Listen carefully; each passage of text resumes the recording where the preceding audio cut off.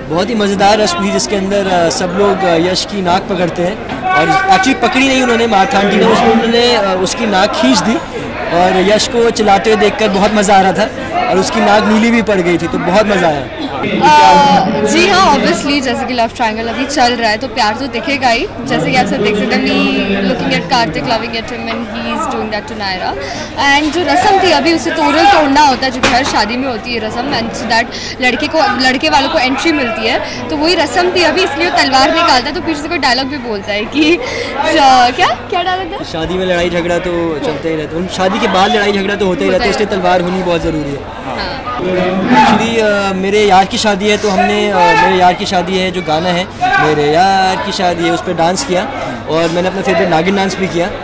और ये बहुत ही यूनिक तरीके की बारात है, जिसके अंदर यश सेगवे पर बैठ कर आते हैं, क्योंकि अंदर घोड़ी तो आ नहीं सकती। तो कुछ नया देखने को मिलेगा ऑडियंस को। पहली बार। ऑब्वियसली हम सब के लिए बहुत खुशी का मौका है क्योंकि हम सब बड़े हुए हैं यश के साथ एंड सबका काफ़ी इन्वॉल्वमेंट रहा है शादी में बट आई गेस लक्ष्य के लिए तो बहुत बड़ी बात है बिकॉज़ यश की शादी भी है। वो मेरा बेस्ट फ्रेंड भी है सब कुछ वही है मेरा। जब मुझे तारा तारा छोड़ कर गई थी तब वही मेरे साथ था। और आज उसका ये खुशी का मौका है तो मैं उसके साथ हूँ मुझे बहुत अच्छा लगा। सबसे ज़्यादा यश की खिंचाई करना उसे तंग करना उसे गोद में उठाना सब लक्ष्य ने किया है। मैंने ब्लैक और गोल्डन शेरवानी पहनी है। बात आप सबकी जगह की।